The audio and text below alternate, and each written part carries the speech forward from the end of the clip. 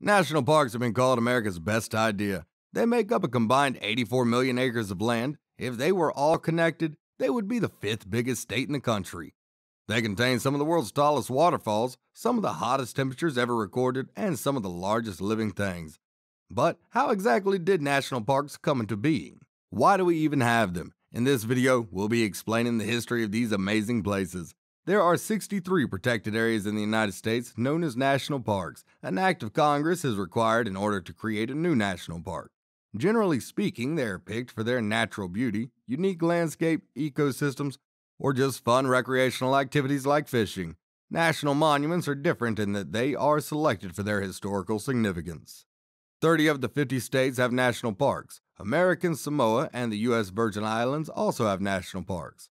The National Park of American Samoa is the newest park, created in 1987 by Ronald Reagan. California holds the record for most national parks with nine, closely followed by Alaska, which has eight. Gateway Arch National Park in Missouri has the distinction of being the smallest park at just 192 acres. The biggest national park is Wrangell St. Elias in Alaska, which spans over 8 million acres of land. That's bigger than all nine of the smallest states. Alaska is kind of the king of big national parks, since the next three biggest parks are also in Alaska. The national parks are also pretty popular. In 2017, they set a record for visitation with 84 million total visitors. That means a quarter of the U.S. population visited a national park at some point that year. Great Smoky Mountains National Park in North Carolina and Tennessee is the most happening park of them all. It's gotten the most visitors every year since 1944. The Appalachian Trail goes right through it. Surprisingly, Grand Canyon National Park is only the second most popular national park. I guess there really must be something going on in the Smoky Mountains, since you think that the Grand Canyon would be the biggest draw in the country. The least visited national park in America is Gates of the Arctic National Park and Preserve. In 2019, it got a measly 10,000 visitors. The park, which is bigger than the whole country of Belgium, is probably unpopular because it's located entirely within the Arctic Circle. This location is slightly inconvenient for Americans who happen to live south of Canada. An artist named George Catlin is thought to be the first person to use the term national park back in 1832. He was traveling across the Great Plains and was worried that the wildlife and the wilderness might be in danger since more and more people were moving west. He wrote, By some great protecting policy of government, in a magnificent park, a nation's park, containing man and beast, in all the wildness and freshness of their nature's beauty. So typically he said nation's park, not national park, but it's close enough. Yellowstone National Park was the first national park, not just in the United States, but in the world. America was ahead of the game when it came to conservation. It was officially explored for the first time in 1869 by Henry D. Washburn and Ferdinand Hayden. Over time, a story evolved about how at the end of their expedition, the two of them were sitting around a campfire and they decided that the area should be dedicated to the public. This is the story that advocates for the national park would tell. It didn't actually happen, but it sounds good, doesn't it?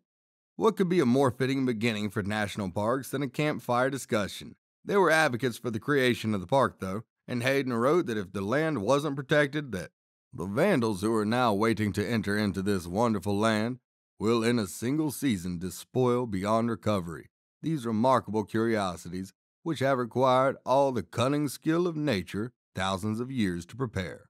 The Northern Pacific Railroad Company surprisingly was also one of the groups that wanted the area to be turned into a park. They thought it would make a good destination for a new route they were laying down through Montana. In order to keep out poachers, the Army built a fort in Yellowstone to protect the park. This basic strategy would become the norm for park rangers in the future. Yellowstone National Park is home to the largest supervolcano on the entire continent. Luckily for all nearby humans, it is considered to be dormant. Over half of the world's geysers are in Yellowstone, which is just one of the reasons why it's one of the most popular national parks. The classic park ranger hat that you always see Smokey the Bear wearing came into use around this same time. United States cavalry units were sent into Yosemite Park in 1891 since at the time the Parks Department wasn't really big enough to manage everything themselves. These troops wore their campaign hats with two creases in the top, known as the Montana Peak. This would eventually become the standard hat for Rangers. The cavalry troops protected the parks not just from poachers, but from illegal miners as well. Many states' fish and game wardens also wear this style of hat now, as do some police officers. Personally, I think it looks a lot cooler than your typical police hat. In 1933, the National Park Services, as it functions today, came into being. President FDR signed Executive Order 6166, which, despite having all those sixes in it, didn't do anything creepy or weird.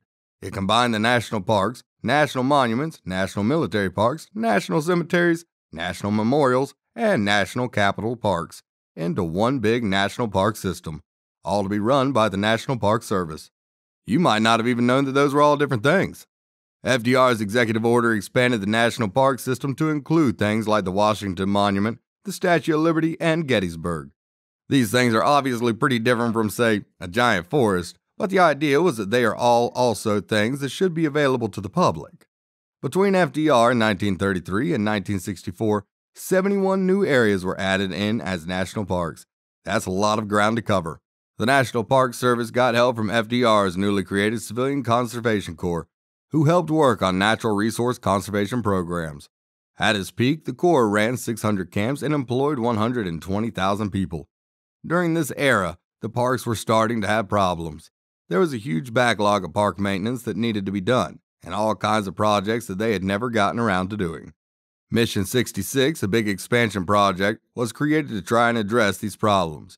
Order 66 from Star Wars probably was not named after this project, since it has nothing at all to do with killing clones, but you never know. John D. Rockefeller Jr. would become a major player in the national park scene around this time. He was the son of the original Rockefeller, who was the richest American in history and also the richest person in modern history. In 1926, he visited Jackson Hole. Jackson Hole is a valley in Wyoming that people had been wanting to add to Yellowstone Park for 30 years. It isn't a giant hole in the ground. Hole is a term that mountain men used to use for the mountain valley. When Rockefeller stopped by, he saw that the beautiful area was full of billboards and hot dog stands. This disgusted him so much that he decided to just buy the whole area and then give it to the government. This kicked off what would become the first major controversy in national park history. Not everyone was happy that Rockefeller, some city slicker from the East Coast, had bought up all this land. There were ranchers, hunters, and loggers who didn't like this, when FDR turned the land into the Jackson Hole National Monument and Grand Teton National Park, a big political fight ensued. There were Western members of Congress who didn't approve and who created bills to abolish the monument. Not only that, but they wanted to get rid of the president's authority to make national monuments at all. A bill to get rid of the monument passed Congress in 1944, but FDR just vetoed it. FDR pointed out that before him, presidents from both parties had created tons of national monuments, 82 to be exact, and some of them were even bigger than Jackson Hole. Despite this, the whole issue still ended up in court, where the Department of Justice decided that FDR's decision was legal. A compromise was worked out and later appeared in legislation signed into existence by President Truman in 1950. Jackson Hole National Monument and the old Grand Teton National Park were combined into new Grand Teton National Park. Some hunting would still be allowed, which appeased the locals. New laws were also put in place to prevent making new national parks in Wyoming in the future without congressional authorization. Clearly, the state of Wyoming didn't want to deal with this whole thing again anytime soon. In the 60s, new categories were created to group things in with the national parks. The first national lake shores were created in 1966 when parts of the coastline of the Great Lakes, because if every shore was entirely super expensive rental properties, nobody would ever be able to go to the beach. National heritage areas were created to preserve areas that had a major cultural impact on the history of the United States. The Potomac Heritage National Scenic Trail, which runs through Virginia, Maryland, and Washington, D.C., is one such place. It mostly traces the Potomac River, which is best known for being the dividing line between the Union and the Confederacy during the Civil War. The entire state of Tennessee is also technically a National Heritage Area, known as the Tennessee Civil War Heritage Area. So even if you're just in your room, you're still in a heritage area, legally speaking. If you're a Tennessean, you don't even have to get out of bed to visit a national heritage area.